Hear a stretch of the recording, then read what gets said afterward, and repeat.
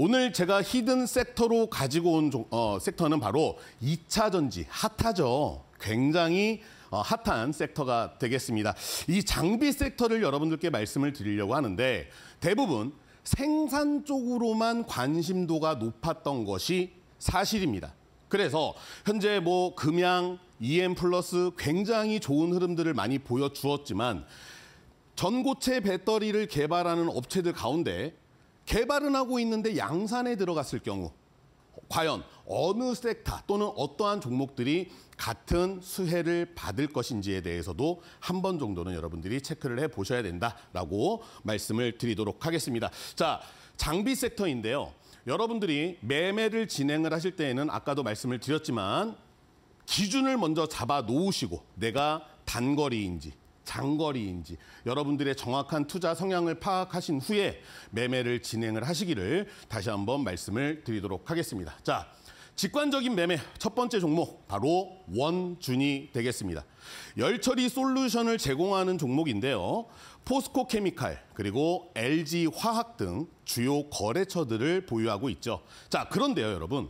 항상 제가 우리 학습방에서도 제가 말씀을 드리지만 이슈는 이슈일 뿐입니다. 즉 귀에 걸면 귀걸이, 코에 걸면 코걸이가 되기 때문에 이슈만 따라다니면서 매매를 진행하시기보다는 정확한 세력들의 뭐를 찾으셔야 된다고요? 흔적을 찾으셔야 됩니다. 그 부분이 가장 먼저 여러분들이 인지를 하고 매매를 진행을 하셔야 되는 포인트라고 자, 어, 자신 있게 말씀을 드리도록 하겠습니다. 자, 오늘의 hidden 종목 원준의 차트를 가지고 왔습니다. 자, 보시면 어떠신가요? 수상한 흐름이 한눈에도 들어오고 있습니다. 이러한 종목들은요, 여러분들이 관심을 반드시 가지셔야 돼요.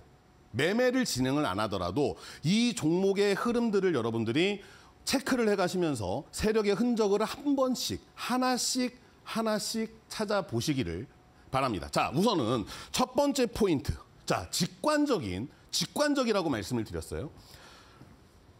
장대 음봉이 생기면서 큰 거래량들이 실렸습니다. 자, 우리는 안전하게 매매를 진행을 해야 되기 때문에 아, 여기에서 매집이 이루어졌다라고 보는 것이 아니라 아, 여기에서 주체가 매, 매매의 주체가 되시는 그 기관, 외인, 즉 세력들이 어떻게 했다?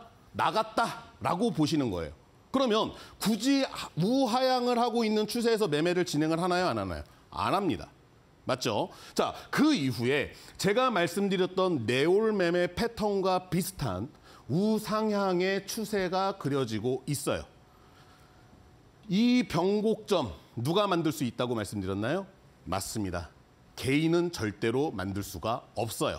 자, 그러면 과연 이렇게 하락을 하던 추세에 변곡점을 발생을 시키면서 우상향으로 틀어 놓았다라는 것. 아, 너희들 물에 많이 잠겨 있다가 올라오기 시작했구나라고 볼 수가 있겠습니다. 자, 그리고 현재 원준이 유통되고 있는 유통 주식수 대비해서 나온 거래량들이 너무너무 의미가 크다라고 말씀을 드릴게요. 지금 현재 하단에서 하단에서 들어온 이 거래량들 여러분들 반드시 체크를 해 보셔야 된다라고 말씀을 드려요. 그래서 총 주식수와 유통 주식수는 다릅니다. 유통 주식수 대비 얼마만큼이 터졌는지에 대해서 여러분들이 한번 체크를 꼭 해보시기를 바라고요. 자, 지금 현재 아까도 말씀드렸듯이 240일 이평선에서 지지를 받고 있는 모습, 지지를 받고 있는 모습들을 확인하실 수가 있습니다. 즉, 240일 이평선은 1년 동안의 평균 심리선이다라고 생각을 하셔도 되겠죠. 그러면 위에서 산 사람들과 아래에서 산 사람들 여러 가지가 있을 텐데요. 지금 현재 평균 가격에 와 있기 때문에 주가의 심리선은 가격에 와 있고 21선이 밑에서 지지를 받아주고 있다라고 하는 것은 곧 이격도가 벌어질 수 있다라고 하는 매수 타이밍도 같이 제공이 되고 있습니다. 자, 거기에 따라서 최근에 어떻게 됐습니까? 네올 매매짜리가 나왔죠. 자, 이 구간을 보시게 되면 이 하단 구간 네올 매매짜리가 나오고 나서 다시금 우상향이 나오고 있는 추세를 확인하실 수가 있습니다. 그렇기 때문에 네올 매매짜리에서 매수를 못 하셨다라고 하더라도 MACD 즉 화살표의 표시가 신호가 포착이 되었기 때문에 충분히 더 상승을 할 수 있는 종목 바로 원준이 되겠습니다. 원준이라고 하면 우리 학습방에서 제가 노래를 많이 불러드려요. 까나리아 바이오 할 때는 아나까나 까나리 까리키포웨이 이렇게 노래 불러드리고 원준 같은 경우에는 모두 잠든 후에 잊지 마시라고 이렇게 불러드리고 있습니다. 어, 오늘 박셀 바이오도 좋은 흐름들도 보여줬었는데 박셀 후, 박셀 하, 박셀, 박셀, 박셀 이렇게 재미있게 공부하고 있습니다. 자, 다음 종목 한번 보도록 하겠습니다. 두 번째 종목은요. 바로 CIS가 되겠습니다. 마찬가지로 직관적인 매매 기법, 매매 어, 패턴이다라고 말씀을 좀 드릴게요. 자, 전극 제조 관련 장비를 제작하고 있는 종목인데, 자, 여러분 최근에 공매도에 대한 어, 이 비중이 커졌던 매매 일자가 있습니다. 그 매매 그 비중이 높은 자리를 확인을 해보니 14,500원 선이 되었었거든요. 여기에서 우리가 한 가지를 공부를 하고 넘어가야 돼요. 자, 어떠한 한 라인이 있는데 이 라인에서 공매도를 칩니다. 자, 그러면 대부분의 투자자들은 어떻게 생각을 하느냐? 아, 야, 지금 말이야, 주가가 만 원인데, 만 원 이상에서 자꾸 공매도가 나오네. 어, 그러면 올릴 수 있는 힘보다 공매도하는 물량이 많으니까 주가는 상승을 하지 못하고 하락을 하겠지? 아, 그러면 나는 다른 종목에, 다른 종목에 매매를 진행을 하겠어. 라고 하면서 본인이 가지고 있는 물량들을 던집니다. 매도를 한다는 뜻이죠. 그러면 이상하게도 엇박자가 여기에서 많이 나요. 내가 매도를 하면 올라가고 내가 매수를 하면 내려오게 되는 엇박자가 많이 이루어지는데 자 CIS 여러분들이 집중을 해서 봐야 되는 부분이다 포인트다라고 말씀을 드리고요 차트를 한번 보도록 하겠습니다 어떤가요? 여러분들은 지금 빠르게 캐치를 하셔야 되는 게 있습니다 제가 매매하는 패턴들은요. 물론 실시간으로 여러분들과 함께 학습방에서 실시간으로 매매를 진행을 하는 종목들도 있지만 이 방송을 통해서 여러분들이 대응하시기에는 다소 어려운 부분들이 있기 때문에 조금은 느긋한 종목을 가지고 왔다라는 점. 이제 좀 캐치가 되시나요? 해서 마찬가지입니다. 우상향을 하고 있는 자 우하향을 하고 있던 추세에서는 매수를 진행을 한다 안 한다? 안 한다. 아시겠죠? 매수 진행하시는 게 아니고 이러한 부분들은요, 여러분 잡을 수는 있어요. 기술적 분석을 통해서 잡을 수는 있는데 고수들의 영역이다 보니 여러분들도 어느 정도 학습이 병행이 되어서 내가 나만의 기준이 최소한 세 가지 이상이 잡혔을 때에는 이러한 자리에 들어가실 수도 있습니다. 하지만 안전하고 밤에 편안하게 주무시려면 안전한 매매, 심리적 우위에 서서 매매를 진행을 하실 때에는 반드시 변곡점을 확인을 하셔라. 정말 중요한 포인트입니다. 여러분, 선 세 가지만 그어 놓고 매매를 진행을 하셔도요. 정말 편안하게 매매하실 수가 있어요. 그게 바로 이 추세 라인입니다. 아시겠죠? 학습방에 오시게 되면 모든 추세 그리고 지지와 저항이 갖는 의미와 그리고 원포인트 강의까지 다 해드리고 있으니까 어, 학습방으로 오시면 좋겠습니다. 자, 계속 이어서요. 우하향을 하던 추세를 돌려 세우는 변곡점이 발생을 했고 이쪽 아랫 라인을 보시게 되면 네올 매매자리가 나오는 것을 확인할 수가 있습니다. 첫 번째 네올 매매자리 양쪽에 두 군데에 물이 찼죠. 물이 찼죠. 물이 차면 뭐라고 했습니까? 물이 찬 자리에서 매수, 매수, 매수 후에 5%, 7%, 10%의 절반 매도 후 나머지 물량 뭐라고요?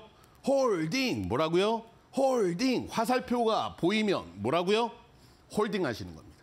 홀딩 했을 때 계속적인 좋은 흐름들을 보여줄 수가 있었던 것이죠. 자, 그런데 지금 다시 이 종목을 집중을 해야 된다라고 말씀을 드리는 기술적 분석의 가장 큰 포인트는 절반의 법칙이라고 있습니다. 여러분들 절반의 법칙에 대해서 알고 계시는 분들 너무너무 재미있게 자들 어, 많이들 적용들을 하시는데요. 자, 저점 부분에서 위까지의 상승 부분에 절반 라인에서 현재 지지가 나오는 모습을 확인할 수가 있는데 거기에다가 240일 이평선을 다시금 지지를 받는 모습이죠. 1년 동안 이 종목을 서로 사고 팔고 한 투자자들의 평균 가격에 와 있다. 거기에다 21선이 현재 21선이 지지를 받아주는 모습을 보여주고 있는데 이격도에서는 21선과 61선을 많이 쓰죠. 하지만 지금 자리 우리가 노림수를 가지고 대기 매수로 잡을 수가 있는 자리다라고 해서 여러분들께 오늘 CIS 오늘의 히든 종목으로 가지고 왔습니다. 자, 다음 종목 한번 다음 종목 한번 넘어가 보도록 하겠습니다. 자, 두 번, 어, 롯데 에너지 머티리얼즈입니다. 네. 우선 우리 학습방 다시 한번 안내 좀 부탁드리도록 하겠습니다. 네, 히든 종목 세 번째 공개하기 전에 학습방 입장하는 방법 다시 한번 알려드리겠습니다. 자, 오늘 전문가님이 너무 쉽게 설명을 잘 해주시다 보니까 노란 톡방으로 줄줄이 입장을 많이 해주고 계신데요. 참 긍정적인 반응도 좋습니다. 어, 설명이 쏙 잘 들어옵니다. 설명을 너무 쉽게 해주시네요. 같은 반응들이고요. 자, 이렇게 노란 톡방 입장할 수 있는 법 다시 알려드릴게요. 아래쪽에 지금 QR코드 띄워드리고 있죠. 화면 오른쪽으로 네모난 QR코드 보이실 겁니다. 이쪽 이쪽에 스마트폰 카메라 가져다 대셔서 인식시키셔서 입장하시면 되고요. 계속 지금 말씀드리고 있는 내올 매매라는 매매법에 대해서 기본적인 학습을 무료로 계속해서 시켜주신다고 하니까 노란 톡방에서 궁금한 점 많이 남겨주시기 바라고요. 실제로 지금 궁금한 점을 여쭤보는 분들도 있어서 제가 전문가님께 직접 한번 여쭤봐 드리려고 합니다. 자, 닉네임 다드님께서요. 아래 칸, 위에 칸, 물 차는 곳은 뭔가요? 라고 하시면서 RSI인가요? 라고 하셨거든요. 자, 이게 좀 궁금하셨나 봐요. 아까부터 계속 윗칸, 아래칸 물 찼을 때는 매수 사인 이렇게 말씀을 하셨잖아요. 이거는 좀 어떤 건가요? 네, 네, 맞습니다. 여러분들이 예상을 하고 있는 보조지표 맞습니다. 그런데 중요한 것은 안에 있는 수식을 바꿔 주어야 한다라고 하는 거죠. 스토캐스틱과 RSI 여러분들이 다 알고 계시는 보조 지표 중에 하나인데 중요한 것은 한 가지의 보조 지표 하나만으로는 안심이 되지 않는다라고 말씀을 드리는 거예요. 그래서 검증을 할 수 있는 세 가지의 지표를 추가를 해서 직관적으로 보실 수 있게끔 해드리는 거고요. 각각의 수치를 정말 많이 변화를 주어 보았습니다. 이렇게도 변화를 주어보고 저렇게도 변화를 주어보고 손절도 해보고 때로는 정말 밤잠을 못 이루면서 허공에 발차기를 몇 번을 했는지를 모르겠습니다. 그렇게 하나하나 찾아낸 방법들이었는데 우리 투자자분들이 사실은 굉장히 복잡한 지표만을 쓰시는 분들이 굉장히 많아요. 하지만 직관적으로 어 내가 이 종목에 대해서 자신감이 있다라고 하게 되면 그 보조 지표를 통한 매매 패턴은 굉장히 안정적으로 여러분들을 계좌에 여러분들의 계좌의 색깔을 바꿔줄 수가 있다라고 저는 생각을 하고요. 우리 학습방에서는 단기 매매와 장기 매매를 같이 공부를 하고 있습니다. 해서 그날 그날 들어가는 종목들 들어가셔서 빠르게 수익을 낼 수 있는 종목들도 매매를 진행을 하고 있고요. 그리고 이 내올 매매를 아들이 생기기 전까지는 다 전수를 해드리려고 합니다. 해서 너무 많은 분들이 사실 좀 힘들어하시는 분들 굉장히 많아요. 어, 어, 이상한 뭐 친구를 통해서 종목을 받는다던가 아니면 어떤 뉴스를 통해 갖고 종목을 받는다던가 했을 때 왜 예전에 여러분들 알고 계시는지 모르겠는데 개그 프로그램 중에요. 어, 블랑카라고 있었습니다. 네, 블랑카. 어떤 건지 기억나시나요? 자, 사장님 나빠요 아실 겁니다. 700% 간다 했어요. 500% 간다 했어요. 매수했어요. 마이너스 50% 됐어요. 네, 요거 아실 거예요. 그런 분들 너무나 많이들 이렇게 힘들어하셨기 때문에 그분들께 아예 공개를 해드리는 거고요. 어, 거기 타이밍에 맞는 그 우리 네올매매 그 기법이라고까지는 말씀을 안 드리겠지만 패턴이라고 말씀을 드릴게요. 네올매매 패턴에 맞는 종목들만 매매를 진행을 하셔도요. 여러분들 계좌 색깔은 확연하게 달라질 거라고 생각하겠습니다.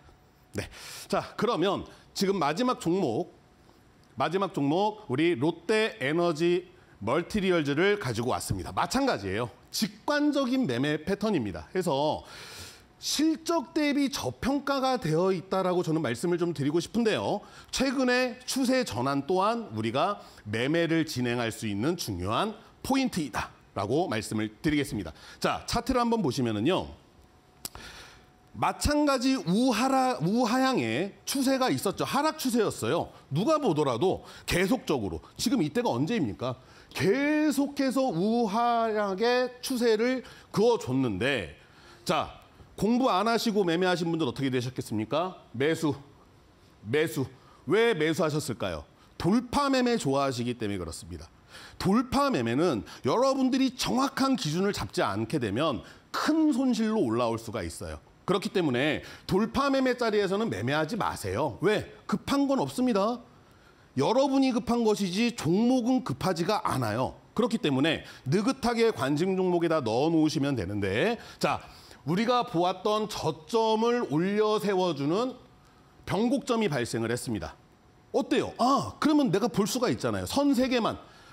직선 세 개만 그어 보셔도 얼마든지 여러분들이 매수할 수 있는 타이밍을 찾으실 수가 있다라고 말씀을 드리겠습니다. 자, 그러면 변곡점이 발생을 하였어요. 그러면 아까 말씀드린 대로 누군가가 핸들링을 하고 있다라고 한다면 그 누군가가 세력이라고 한다면 기관, 외인, 큰손 형님들이라고 한다면 좋은 결과값이 나오겠죠. 그죠? 그래서 우상향으로 만들어지는 변곡점이 발생을 했고 이 변곡점에서 내올 매매 자리를 찾아보시는 거예요. 내올 매매 자리를 보시면 자리가 나오고 있습니다. 내올 매매 자리는 우상향 추세에서 자리가 나온다라는 말씀을 다시 한번 드리겠습니다. 그러면 매수하셨어요? 자, 보시면 매수했죠? 매수 후에 5%, 7%, 10% 매도하고 나머지 비중은 뭐라고요? 홀딩 따라 하셔야 됩니다, 여러분. 자, 뭐라고요? 홀딩. 뭐라고요? 홀딩. 홀딩 하시는 거예요. 나머지 비중 절반을 남겨 놓으셨다. 마음 편안하게 들고 가시는 거예요. 자, 그런데 지금 또 가지고 온 이유가 보시면 240일 이평선이 있어요. 주가가 위에서 내려오면서 지지를 받는 종목들도 있고요. 반대로 밑에서 치고 올라오는 종목들이 있습니다.